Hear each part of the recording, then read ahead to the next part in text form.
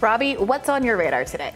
Well, Briahna, earlier this week, in the midst of the collapse of the Silicon Valley Bank, whose depositors are now being bailed out by the FDIC, members of Congress had a Zoom call with members of that agency, the Treasury, and the Federal Reserve.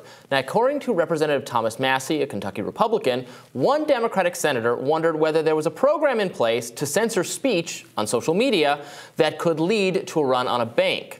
Now, the run on the Silicon Valley Bank does indeed appear to have been sparked in part by information shared by a financial writer in his newsletter. After that writer, Byrne Hobart, exposed the bank's shady finances, certain large depositors began to withdraw. And since the bank is not required to keep sufficient funds on its books to pay back all the depositors at once, this panic created a situation where de depositors had to rush to get their funds out as quickly as possible before the bank ran out of money. With SVB specifically, this was even more pressing since more than 90% of the bank's depositors did not have FDIC insurance, meaning there was no guarantee of a bailout. But the bailout is happening after all, thanks to the Biden administration. But let's set that matter aside for a moment and return to the concerns that Massie raised. Who is this Democratic senator that thinks information that might start a financial panic should be censored on social media, even if it's true information? Well, as Massie revealed to the independent journalist Michael Shellenberger, the senator in question was Mark Kelly of Arizona. Quote, I believe he couched it in a concern that foreign actors would be doing this, Massie told Shellenberger, but he didn't suggest the censorship should be limited to foreigners or to things that were untrue. The people from the three agencies couldn't answer him and just sort of took a pass on the question. Another crisis and the gut reaction from a Democratic senator how can we censor speech on social media? Maybe that reaction isn't so surprising given what went on at the weaponization of the federal government hearing last week, where Michael was joined by independent journalist Matt Taibbi in testifying before Congress about the tremendous pressure coming from the government aimed at censoring speech on social media. Republicans had convened the hearing and summoned Taibbi and Shellenberger, two of the journalists responsible for the Twitter files, to testify. The Democratic members insulted them and showed nothing but contempt for the idea that it was improper for the federal government to sidestep the First Amendment and leverage Twitter to engage in censorship. Now, to expand on all this and tell us more about his experience, we're thrilled to be joined by Michael Shellenberger. Welcome back to Rising, Michael. Thanks for having me, Robby. So it's been a wild uh, week for you. We talked at great length about the hearing. We, we, we watched much of it, and uh, we're really astonished by, again, not just the kind of disrespectful attitude that the Democratic members took toward you because, you know, whatever, political figures are, are not respected and, and are not respectful in turn. But they also, much more disturbingly, I thought, just fundamentally did not understand what the problem is or why we would be concerned about the FBI, the CDC, the State Department, the White House, other agencies, all these, these State, De uh, State Department funded nonprofits coordinating to limit speech. And they didn't seem to care. What was your takeaway? Well, it was, uh, as you mentioned, it was uh, a, a, mixture of some amount of humor and some amount of feeling concerned and even somewhat disturbed or chilled. I mean, I think the better interpretation is that the the Democrats who were demanding that Matt say who his sources were, that they don't understand how journalism works. You know, a more disturbing conclusion would be that they do understand and, and they don't care.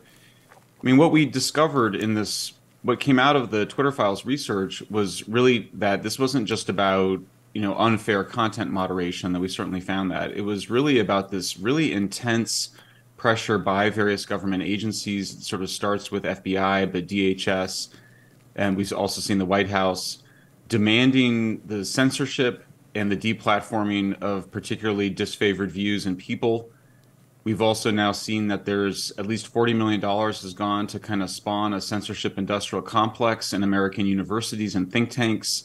There's definite efforts to redirect funding away from disfavored media outlets towards favored ones. It's it seems pretty coordinated. I don't know how coordinated it is exactly, but this is unprecedented in the history of the United States for the federal government to be funding activities aimed at both establishing a predicate um, a basis for censorship and also funding organizations that are directly advocating censorship. And as you know, and I think it's important to remind ourselves, the federal government is not only uh, not allowed by the First Amendment to censor free speech, it's not allowed to subcontract or contract out or have other people do that work for it. So just funding people to demand censorship itself is a violation of the First Amendment. So I think we left somewhat concerned. I do think that what we saw, we've also seen that when you really bring these issues into the public eye, uh, most people are very strong supporters of the First Amendment, Democrats and Republicans. And I think it leads for most policymakers to back off when they're confronted on it. Yeah, the political figures at that hearing, and again, frustratingly, mostly the Democrats, although, as you said, this should not really be a partisan issue, and, and also the agencies responsible for so much of the indirect censorship are not, you know, are not really operating in exactly partisan fashion. Um, there, they were. It seems to stem from this misunderstanding about the misinformation, disinformation question. Uh, you know, I, I, saw you and and Taibbi questioned about about the you know the hack and release of the Hillary emails, et cetera. You're talking about all these bad things, but that's not the information. The, like the underlying information, as was the case with the with the Hunter Biden laptop. Like it's true information. You could obviously say, well, it was illegal how that happened and, and you know, that was wrong. But for journalists to reflect on that learned information is not that's not being complicit in misinformation. That's a, it's a very weird category that has arisen that is now being used to, to crush speech. This idea that it's it's Russian originated or it's benefiting Russia, so it's again, so it's it's lies and it's wrong and it's okay to censor it, which just isn't true. Yeah, I mean, I think this is. I, I find myself in this very funny. I'm a little disoriented because I never thought, you know, after you know, doing journalism for 30 years and, you know, being, you know, writing about politics for so long that I would need to defend the First Amendment or remind people what the First Amendment says. The First Amendment is very radical. I mean, it's and it's impressive the more you understand about it. I'm not certainly not a constitutional scholar, but when you really look at what the Supreme Court has ruled over the years, basically all forms of speech are protected except for those that result in imminent violence or imminent incitement in other words, just basically calling for people to be killed directly in a riot type situation. But otherwise, you know, the First Amendment protects your right to be wrong. It protects your right to lie, to tell stories, to be misleading, because of course we can't agree about what's misleading. We can't agree about even what the right facts are in various situations. And, and the, our, our founding fathers understood that. So we have these really broad protections for speech that uh, that I, I, really come to appreciate I, that I admit to having taken for granted for most of my life. And so when you get people asking, you know, saying things like, well, really, we should be censoring, you know, this misleading information, this misinformation, you sort of see uh, an escalation. I mean, we went from basically saying, well, the federal government should be, you know, censoring ISIS recruitment online. And I think most people kind of go, yeah, that seems right. And then it goes to, well, there's all this Russian disinformation but then very quickly, this got turned onto quote unquote misinformation, which is just disagreeing with information that people are sharing online, to what's called malinformation, which is misleading information. And we now have seen pressure campaigns um, directly from the White House, but also by organizations funded by the federal government, demanding that accurate information of vaccine side effects be censored out of the concern that it will lead to vaccine hesitancy that's exactly the kind of stuff that you, we should be worried about. You mentioned the concern around information leading to bank runs. You know, in a society, it, you know, democracy and capitalism both depend on this free flow of information. So, freedom of speech is obviously a fundamental moral value that we all hold, but it's also necessary for the proper functioning of a democracy and of a kind of economic system that we have.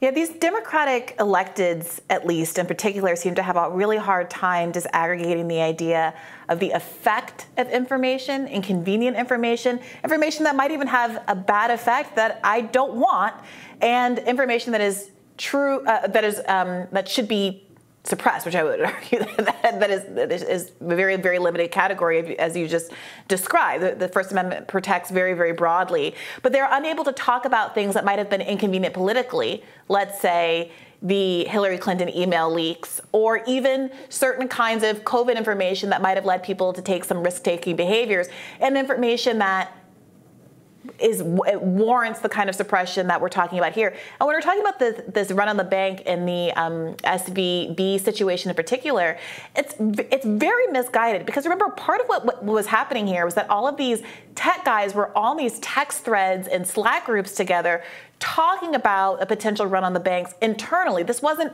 something that initially was being reported out. So the idea that you're going to basically preserve the ability for private actors to have knowledge of something that has such broad public effect by suppressing the ability of journalists to talk about it while it's still being discussed and the bad economic effects are still happening as a consequence of those people knowing and being able to withdraw their funds is extremely perverse. Yeah, that's right. It's helpful for you to unpack it a little bit to explain how crazy that would be. Basically, if you would if you have any situation where you're disallowing or censoring the flow of financial information, you're actually exacerbating all the problems we worry about in terms of insider trading. Mm-hmm. So the you know transparency is absolutely essential.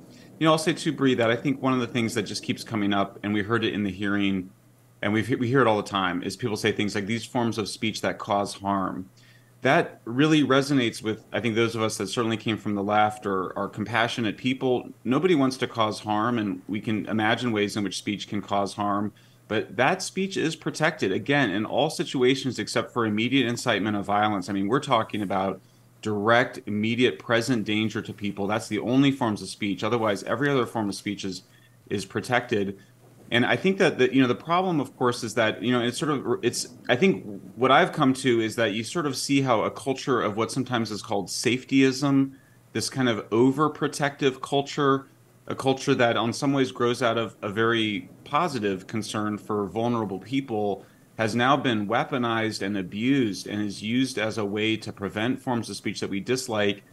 And I think just in a culture of narcissism people just end up over applying these terms and just sort of exaggerating what kinds of speeches cause harm. And so i think we have to push back on that. I do think that reasonable people when you really unpack what what advocates of censorship are saying and you really understand that when people are talking about disinformation misinformation and malinformation in almost every case it's a predicate it's a kind of pretext for demanding censorship. And we should be very alert to it and call it out as soon as we see it Mm. Amen. It's so odd to see the, the pro democracy coalition as the ones who want to limit speech on a vast range of topics, now maybe financial subjects as well. How does that enhance democracy to prevent the, the masses from learning information that the insiders already had, exactly as you explained? Uh, Michael, thank you so much for the work you're doing, uh, for, for braving uh, Congress, and uh, for being on our show today. We appreciate it. Thanks for having me. More Rising right after this.